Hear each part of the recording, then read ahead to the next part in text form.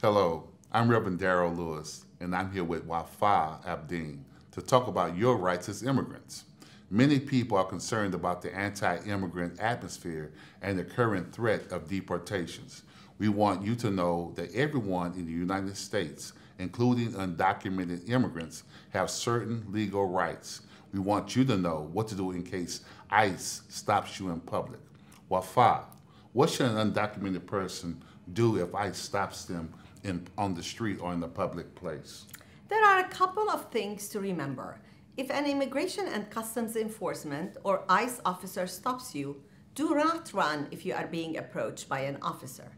You do not have to answer any questions or speak to the immigration officers.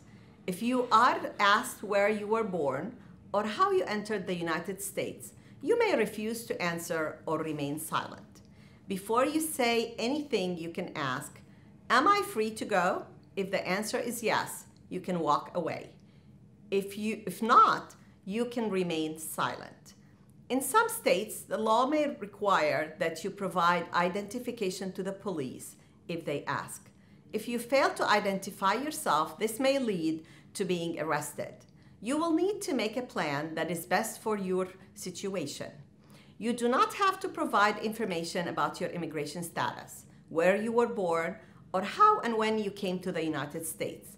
You should not show documents from your home country. If you choose to remain silent, say so out loudly.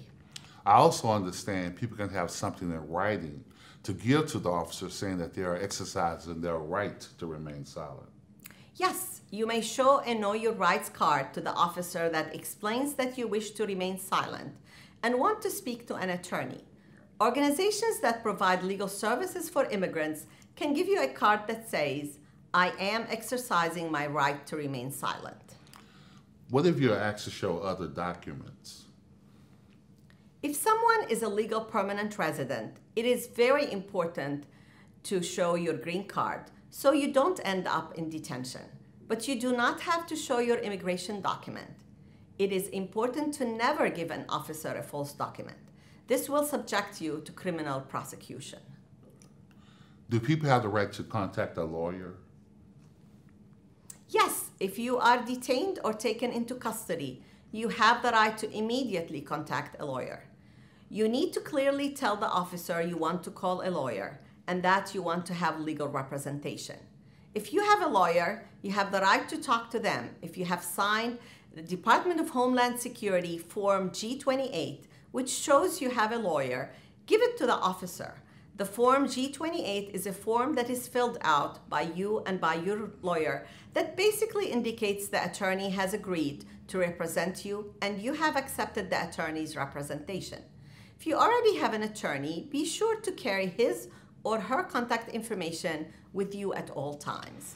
In reality, these things happen very fast, so it's best to have a lawyer already, correct?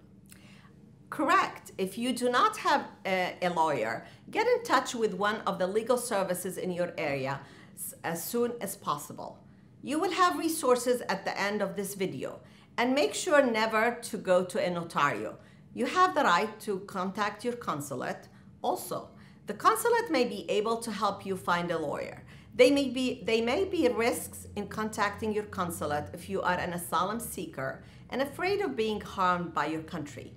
If this applies to you, it should be important to discuss with an attorney first. Also, if you are detained, you can ask an immigration officer for a list of pro bono lawyers. Pro bono means that they will help you without charge. What if people are asked to present documents?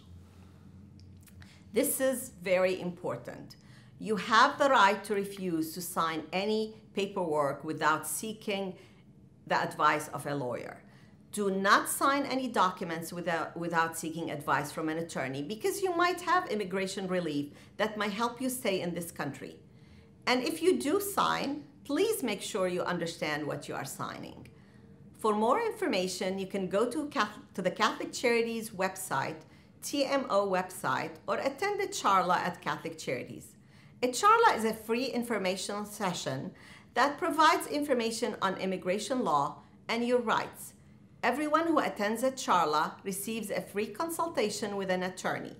You can also get immigration information from the Houston Immigration Legal Services Collaborative, which has a listing of immigration organizations like Catholic Charities of the Archdiocese of Galveston, Houston. Finally, check the TMO website for more videos and Know Your Rights workshops.